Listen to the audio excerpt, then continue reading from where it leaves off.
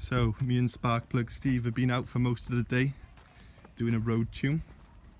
We've upped the boost, we've got it to about 0.8 bar, so about 10 psi. The turbo can probably go to about 1.2, 1.3, so there's plenty, plenty of meat left on the bone. Um, so bear that in mind when you're watching these pulls, but this is the fastest car I've ever been in. Um, and well, I, haven't been in any supercars or anything, but it's just uh, by miles, it's the fastest car I've ever been in. Much faster than my old Impreza Prodrive. Um, it's no, not even a comparison, but yeah, let's go and uh, get some nice pulls. This is not full, I've turned the power down.